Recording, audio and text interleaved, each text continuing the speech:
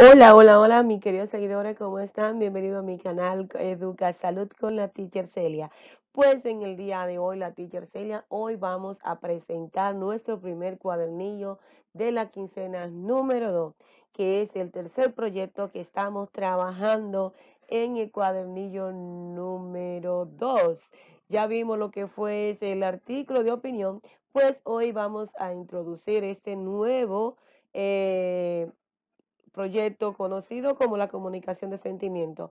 En esta parte nuestros niños van a crear eh, una obra artística utilizando los colores, eh, trozo de periódico, revista, eh, imagen, diseño de cara para ellos crear sus letras, para ellos crear su propia eh, obra artística.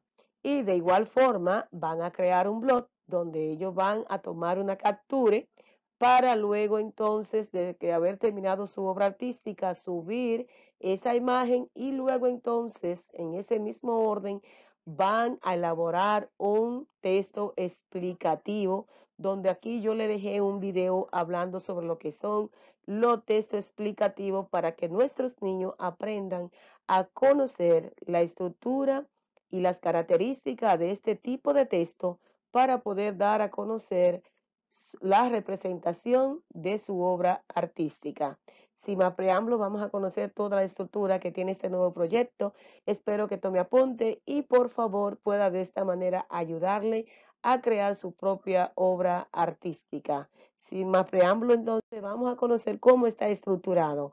En la primera actividad que tiene este proyecto es igual que todas las demás actividades con preguntas diferentes pero relacionadas al tema o al proyecto que van a desarrollar nuestros niños.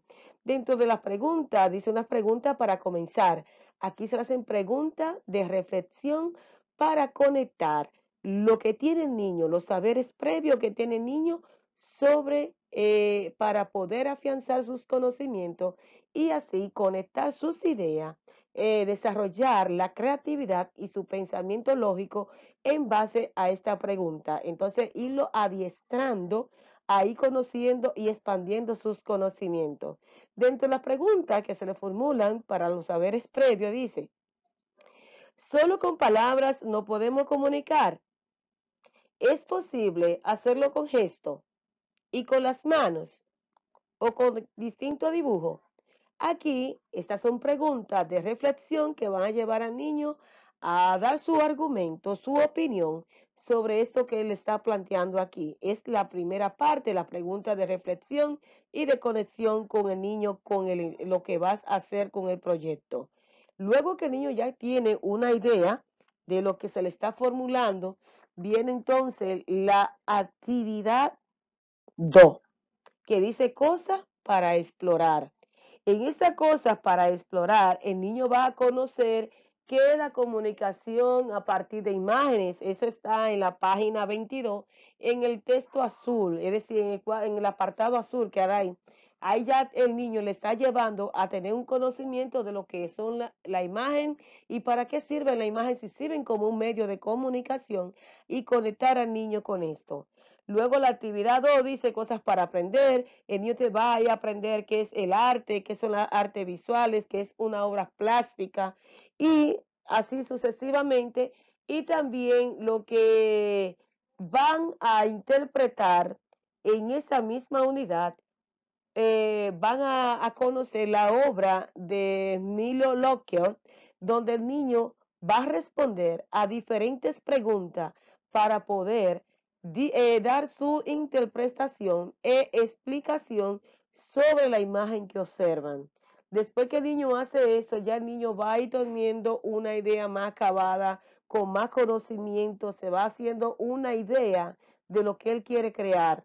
Y es importante que el niño primero lea y conozca, empape, eh, analice y comprenda lo que él quiere expresar eh, a partir de la imagen.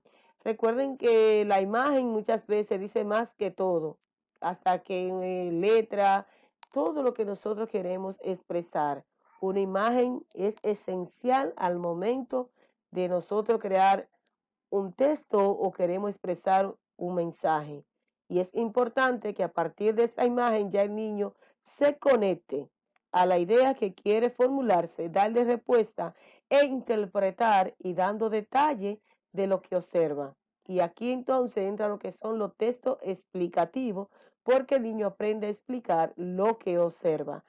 Luego entonces viene aquí unos links donde nuestros niños van a ver esos links y van a conocer la historia de Milo Lockhart, el argentino, así como sus obras y sus talleres de arte, donde nuestros niños pueden tomar un resumen de esa entrevista que observan en estos links y así ya conocer un poquito más sobre el artista, sobre su técnica, eh, el diseño que utiliza, los colores, el fondo, la forma, la imagen que utiliza este artista eh, plástico muy reconocido mundialmente.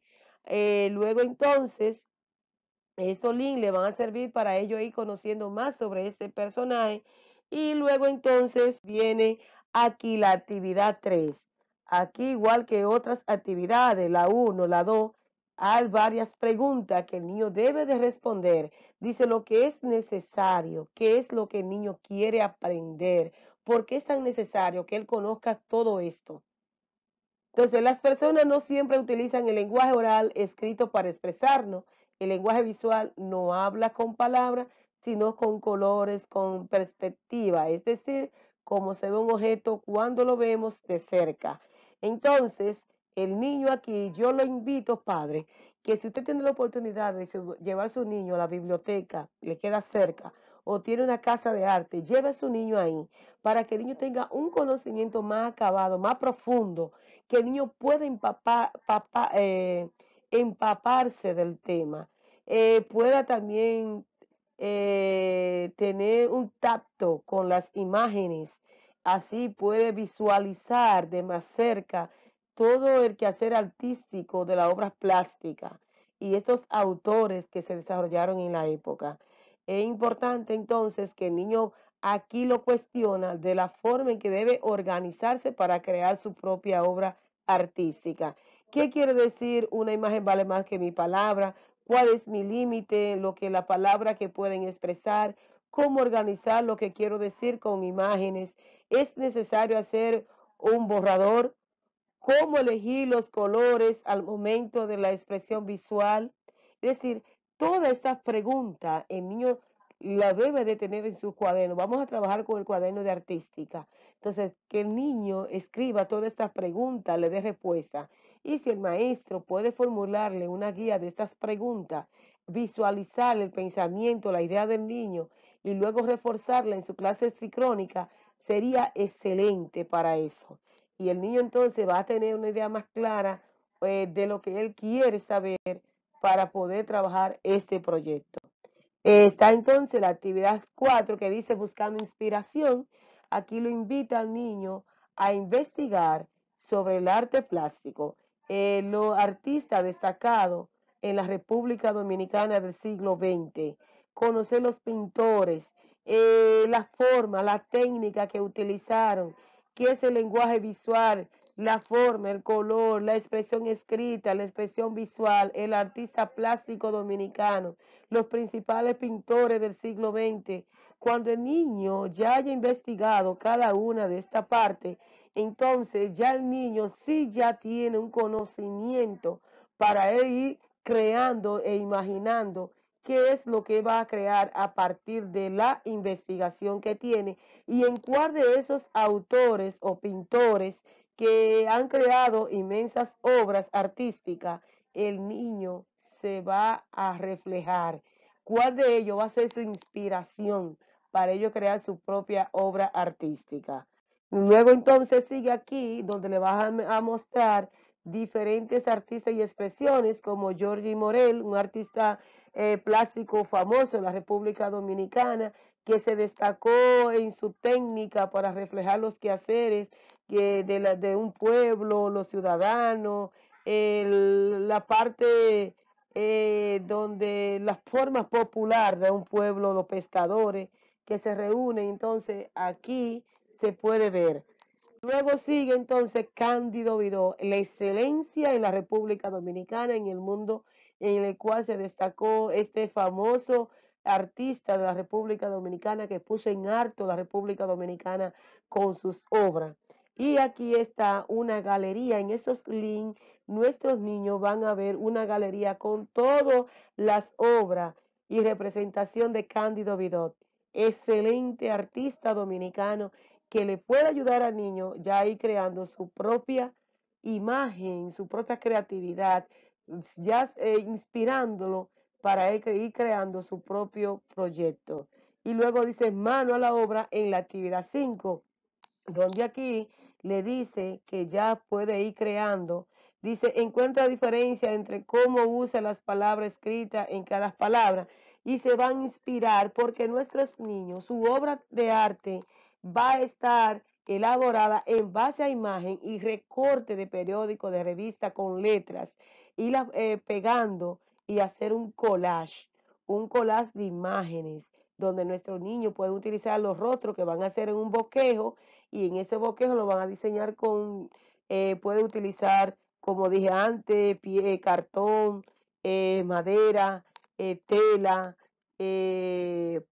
papelógrafo blanco, donde el niño pueda reflejar su dibujo y entonces crear su propia obra de arte.